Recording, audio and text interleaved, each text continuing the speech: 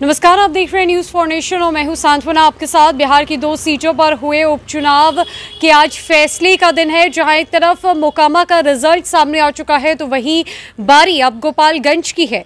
गोपालगंज, जो कि सूबे के उप मुख्यमंत्री तेजस्वी यादव का गृह जिला है, जहाँ से आरजेडी के प्रत्याशी के तौर पर मोहन प्रसाद गुप्ता है तो वहीं बीजेपी की तरफ़ से गोपालगंज के पूर्व विधायक स्वर्गीय सुभाष सिंह की पत्नी कुसुम देवी मैदान में है।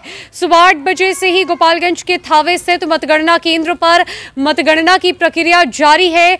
दर ब्रदर जो काउंटिंग हो रही है, वो राउंड्स के माध्यम से लगातार चल रही है। ऐसे में बीजेपी और आरजेडी के बीच कांटे की टक्कर जारी है, जहाँ सुबह से बीजेपी आरजेडी पर बढ़त बनाई हुई थी। आरजेडी को बीजेपी ने पीछे छोड़ रखा था तो वहीं अब आरजेडी अचानक से आगे हो गई है। आपको बताएँ कि उन्नीसवें राउंड की काउंटिंग तक बीजेपी आगे चल रही थी आरजेडी को पीछे कर रखा था, लेकिन बीसवें राउंड की काउंटिंग में स्थिति बिल्कुल भी विपरीत हो चुकी है।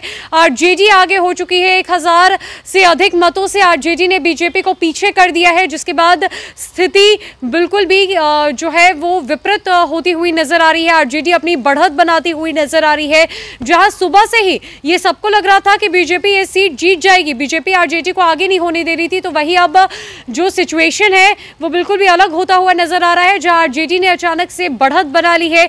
बीसवें राउंड की क्या कुछ अपडेट है हम आपको पहले बताते हैं। आपको बताते चले कि उन्नीसवें राउंड तक आरजेडी प्रत्याशी मोहन प्रसाद गुप्ता को पचपन वोट मिले थे और बीजेपी प्रत्याशी कुसुम देवी को पचपन वोट मिले थे, जिसमें से बीजेपी उनसठ वोटों से आगे चल रही थी, लेकिन जैसे ही बीसवें राउंड की अपडेट सामने आई, उसमें आरजेडी प्रत्याशी मोहन प्रसाद गुप्ता को अंठावन वोट मिले तो वही बीजेपी प्रत्याशी कुसुम देवी को संतावन सत्ताईस वोट मिले हैं।